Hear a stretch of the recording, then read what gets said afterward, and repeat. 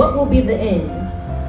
When landfills are filled with hills of our black bodies, we've been the hot commodity.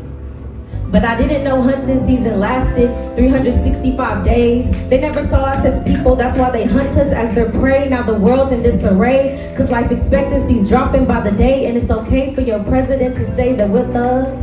We're practicing our rights instead of hitting replay, but when they prey, we pray for a better tomorrow.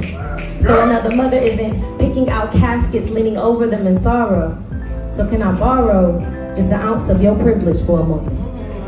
Because if I gave you an ounce of our reality, you wouldn't be able to hold it. And if you're silent, you're the problem. Claiming we're the animals, but you're the wild ones. Trying to take a life you can't create. When you're the one to spark the flame, to start the fire, you have no culture to appreciate. And every time you leave the house, your life isn't at stake.